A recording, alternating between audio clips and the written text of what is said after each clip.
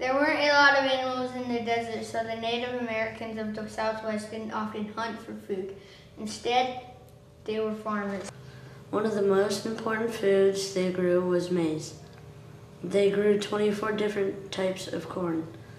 They also grew beans, squash, melons, pumpkins, and fruit. They also gathered pinon nuts, cacti, century plant, screw beans, mesquite beans, acorns, berries, and seeds.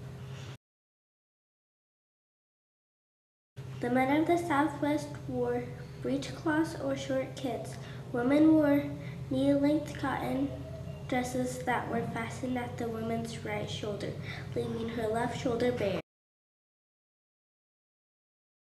When the people of the Southwest would hunt, they hunted wild turkeys, deer, rabbits, and antelope. They also raised sheep and goats.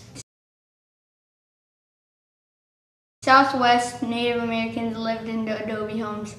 These houses had many levels in them and were made from clay and straw bricks. They were cemented together with adobe. The hogan was a home built by the Navajo people of the Southwest. They used wooden poles for the frame and covered it with adobe clay mixed with grass.